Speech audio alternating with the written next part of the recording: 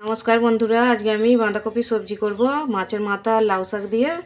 তার জন্য কড়া বসিয়ে দিয়েছি, কড়াটা তেল দিয়ে দিয়েছি, তেলটা গরম হয়ে গেছে, আমি এবারে মাছের মাথা দুটো ভেজে নেব।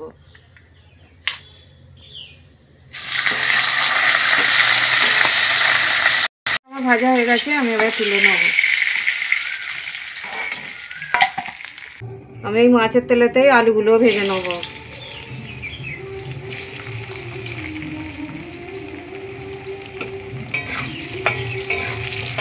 আলুগুলো আমার ভাজা হয়ে গেছে, আলুগুলো আমি তুলে নেব।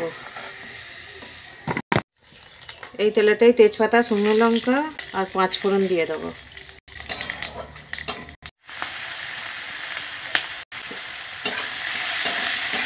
পেঁয়াজটা ভাজা হয়ে গেছে, আর অল্প একটু আদা, রসুন বাটা দেবো।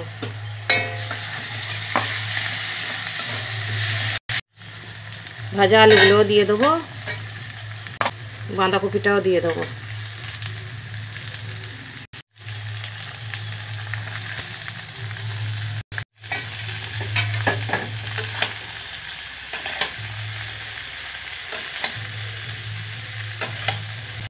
আমি একটা টমেটম কুচিয়ে নিয়েছি, টমেটমটাও দিয়ে দেবো।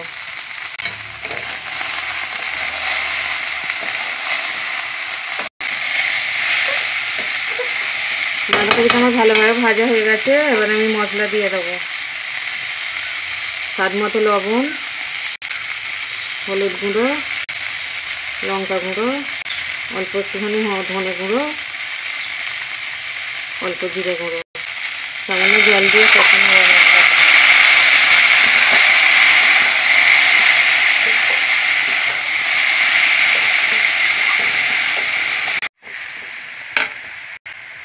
এবারে লাউ শাকটাও আমি দিয়ে দেবো।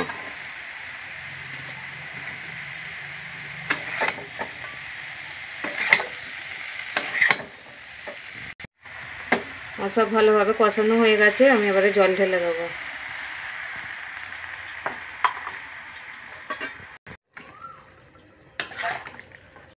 কিছুক্ষণের জন্য এবার চাপা দিয়ে দেবো।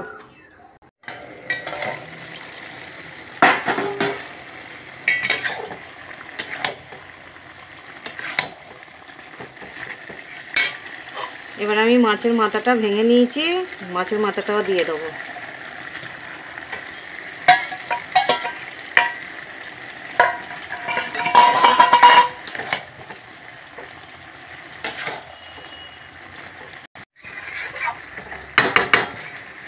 আরও কিছুক্ষণের জন্য চাপা দিয়ে দেবো।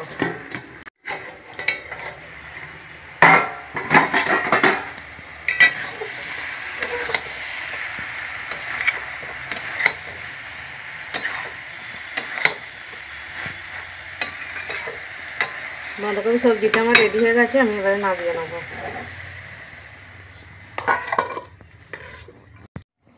বাঁধাকপির সবজি আমার রেডি হয়ে গেছে, লাউ শাক মাছের মাথা দিয়ে। ভিডিওটা যদি ভালো লাগে লাইক কমেন্ট সাবস্ক্রাইব করে দেবেন।